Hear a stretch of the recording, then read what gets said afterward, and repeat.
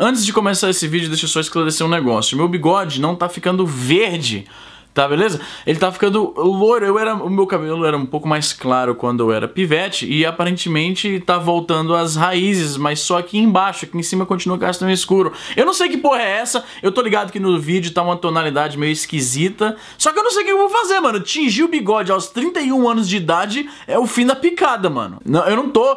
É, as pessoas que estão... Tem muitos daltônicos assistindo meu canal, então as pessoas que perceberam que tá uma tonalidade mais loira, perguntaram se eu tô tingindo de loiro, o que não é o caso. Só que aí tem tem gente que pensa que tá ficando verde, aí é pior ainda, mano. Aí, porra. Enfim, vamos ao assunto do vídeo hoje. Um youtuber se fudeu.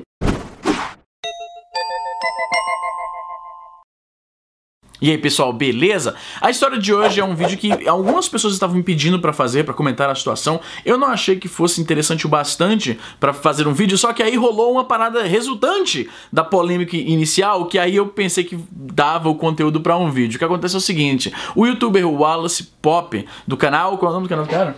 Não, não, esse não é o cara, esse é o gostoso do Instagram. Isso aqui. Opinião de gamer e músicas. Ele tem um canal relativamente pequeno, de 9 mil inscritos apenas, não desmerecendo o canal do cara, mas é pros padrão, pros padrões atuais de Twitter, tô esquecendo português, que merda. Frustrado por ganhar pouco dinheiro com o YouTube, o cara resolveu criar um Patreon, que é uma alternativa de monetização que muitas pessoas estão tentando no YouTube.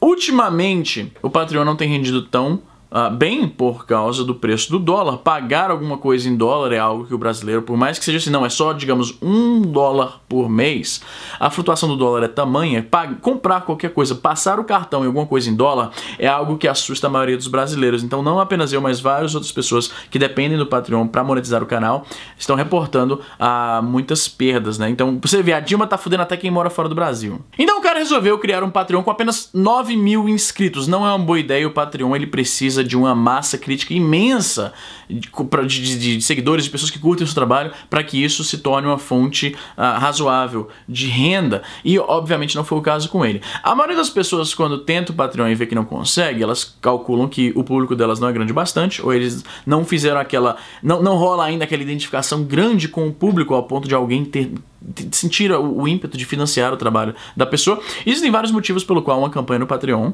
não é bem sucedida. Em vez de analisar essas coisas, o cara ficou com raiva do próprio público e fez um vídeo dando um esporro na galera, falando que ele vai fechar o canal, que ninguém quer pagar nada, dando mó chilique porque as pessoas não querem dar dinheiro a ele. Foi aí que muitas pessoas começaram a me mandar isso, em parte porque as pessoas esperam a minha opinião sobre alguém que dá chilique na internet e também porque eu virei por um tempo limitado sinônimo de Patreon no Brasil, talvez por causa do sucesso da minha campanha quando eu comecei ela alguns anos atrás. Eu dei algumas entrevistas a jornais no Brasil, inclusive eu tenho aqui ah, emoldurado essa matéria que saiu na Folha de São Paulo, e me mandaram aqui, eu coloquei na moldura, o Pirula, quando ele esteve aqui em Calgary, a gente se desencontrou porque eu tava de viagem. Ele trouxe uma cópia ah, dessa matéria para me dar de presente. Infelizmente não tava aqui, então não pude conhecer o Pirula. Mas tá aí. Talvez por causa disso, né, quando se lia de Patreon no Brasil, o pessoal via, tipo, uma matéria com a minha cara. Muitas pessoas, quando aparece qualquer coisa relacionada ao Patreon, me perguntam a minha opinião. Então, quando, como essa história tinha envolvia Chilique e Patreon,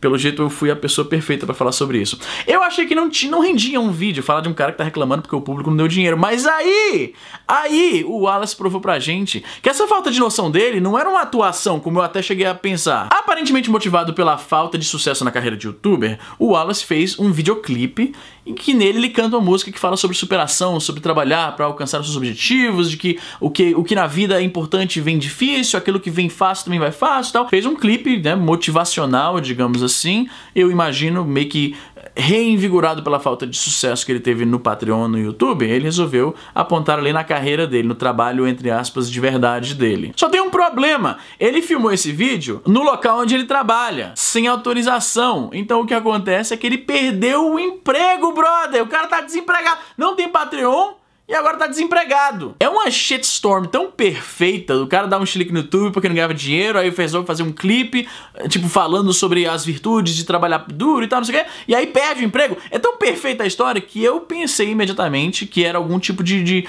de piadinha, de, de, tá ligado? De trote na internet, alguma coisa fake, mas não é, mano, tá? Saiu a notícia em sites aí, o cara perdeu o emprego porque filmou um clipe dentro da porra do Poupa Tempo.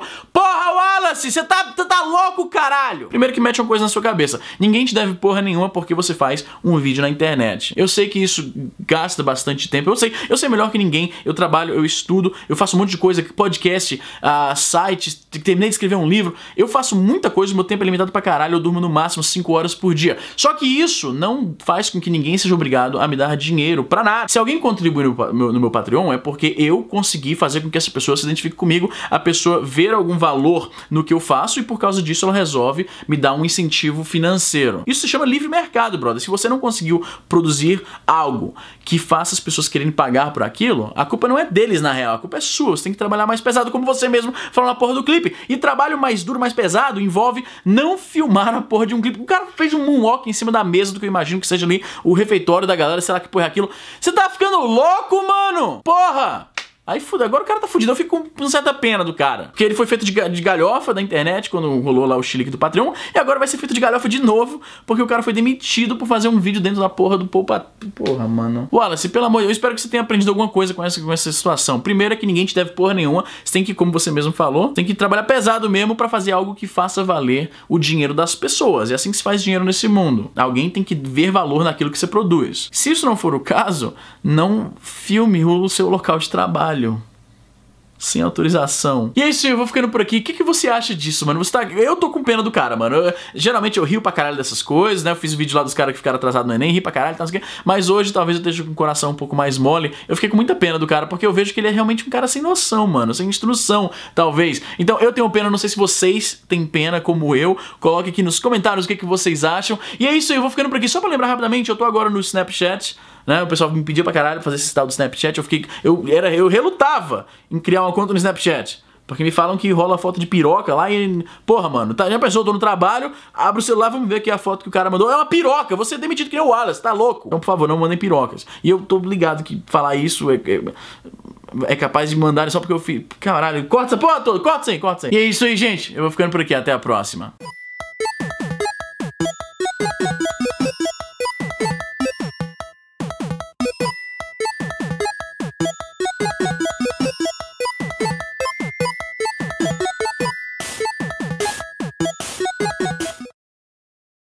Agora é foda, porque o Wallace foi demitido, ele não, não é um bom youtuber, pela, pelo jeito, né? Ele não conseguiu dinheiro no Patreon, ele não é um bom cantor, se esse clipe é alguma indicação, e ele perdeu também emprego de segurança. Então isso já são o quê? Quatro carreiras que o cara já. Quatro carreiras, tá certo isso aí? Qual vai ser a próxima carreira do Wallace, mano? O que o cara vai fazer da vida agora? Porra, já tentou coisa pra caralho.